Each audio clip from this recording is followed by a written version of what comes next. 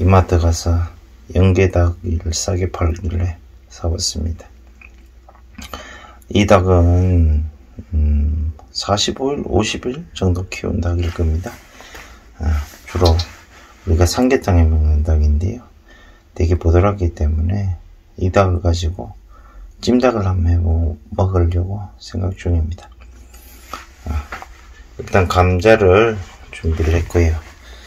닭을 해체를 하고 어, 닭 요리에 있어서 제일 중요한 것은 이 닭의 시중에 음식점에 가면 맛있는 닭 요리를 보면 간이 배어 있는데 내가 요리를 하면 이렇게 간이 안 배는 것입니다. 그래서 제가 아, 예전에 우리 집에서 이 육개를 많이 키웠었는데요. 어머니한테 한번 여쭤봤습니다.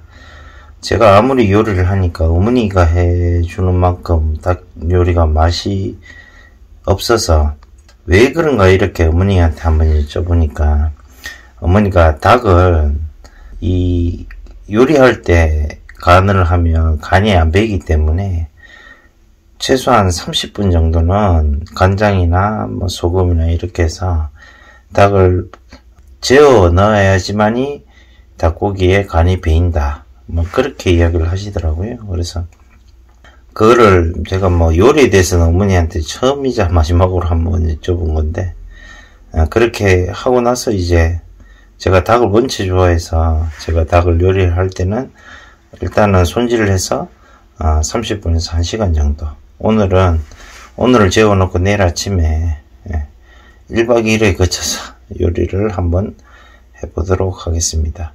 닭 요리를 하는 방법은 되게 비슷한데요. 익히고 나서 어떻게 양념하느냐에 따라서 완전히 상태가 달라지게 되겠습니다. 손질을 한번 해보겠습니다. 예, 한 마리를 손질했습니다. 그냥 이렇게 관, 관절 부위에 칼로서 이렇게 잘라버리면 됩니다. 작은 닭은 뭐 크게 어렵지 않습니다. 한 마리 더 정리하도록 하겠습니다. 예. 연계 두 마리를 이렇게 해체를 했습니다. 요 해체를 한 닭에다가 저는 간장으로 하루 정도 저녁에 해서 내일 아침에 먹을 만큼 음, 이렇게 간장으로 재워두도록 하겠습니다.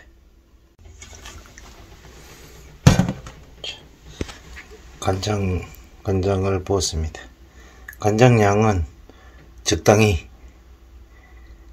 그렇게 짜지 않을 정도만 조금 넣어서 재워 두시면 되겠습니다.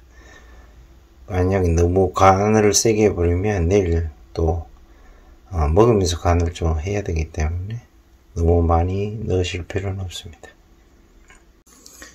예, 랩으로 써서 냉장고에 넣도록 하겠습니다. 예, 내일 닭 요리에 넣을 감자와 당근을 준비했습니다. 닭 요리에 이 감자하고 당근을 주로 넣는데요.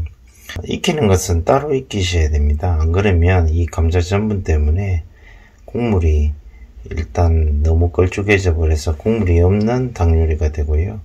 물론 걸쭉한 닭 요리를 좋아하시는 분은 그렇게 하시면 되고 이 야채 식감이 살아있는 닭 요리를 하시고 싶다면 야채를 올리브오일로 한번 볶아서 어, 풀어지지 않게 하고 난 다음에 다음에 닭을 익히고 나서 어, 닭, 닭이 익는 속도와 야채 익는 속도가 다르기 때문에 분리해서 나중에 합치시는 것이 예, 조금 더 나은 보기가 좋은 요리가 될 것 같습니다.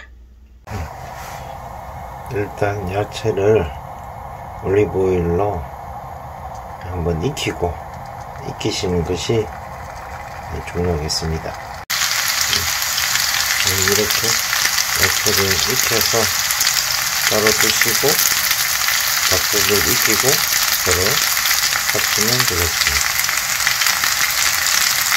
그러고 나면 이제 닭 요리는 그 다음에 어떤 양념을 하느냐에 따라서 뭐 간장 진강이 되고 청량을 넣으면 안동식 진강이 되고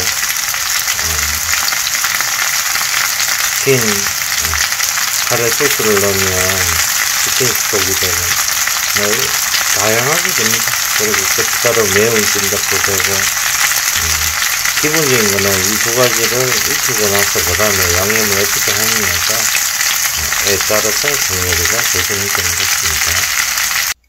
자, 야채가 준비가 되었습니다. 내일 아침 뵙겠습니다. 예.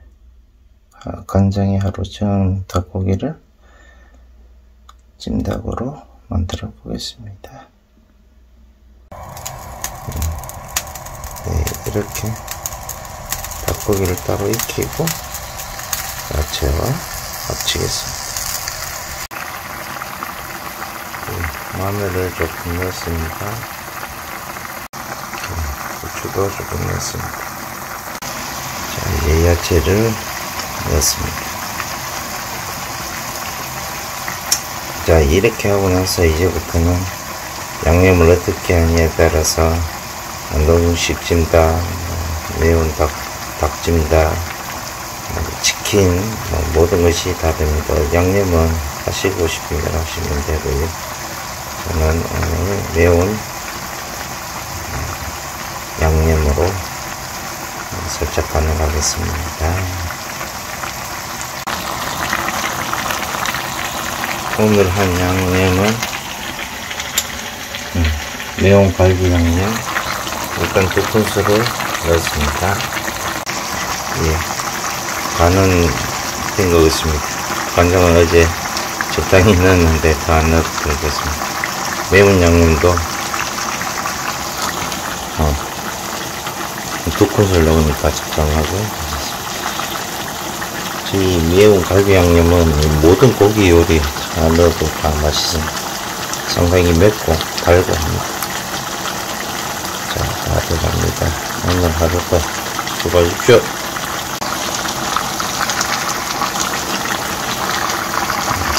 보통 이렇게 감자를 생감자로 같이 닭을 넣고 이렇게 요리를 하게 되면 감자가 다 풀어져 버립니다. 그리고 국물이 너무 전분 때문에 뻑뻑해져서 내가 생각한 만큼의 요리가 되지 않습니다. 그래서 야채는 따로 익히고 기름에 한번 볶고 그러면 예, 감자가 전분이 코팅 때문에 쉽게 전분이 이렇게 번져 나오지 않습니다.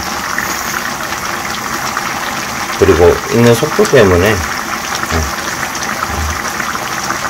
예, 야채를 먼저 익혀야지만이 나중에 간이 같이 될 수가 있겠습니다. 이 닭찜닭 찜닭 요리를 완성했습니다. 주말도 잘 보내십시오.